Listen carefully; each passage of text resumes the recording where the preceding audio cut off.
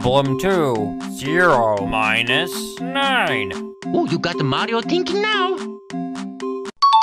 One. I did it! I did it! I did it! I did it! Wrong!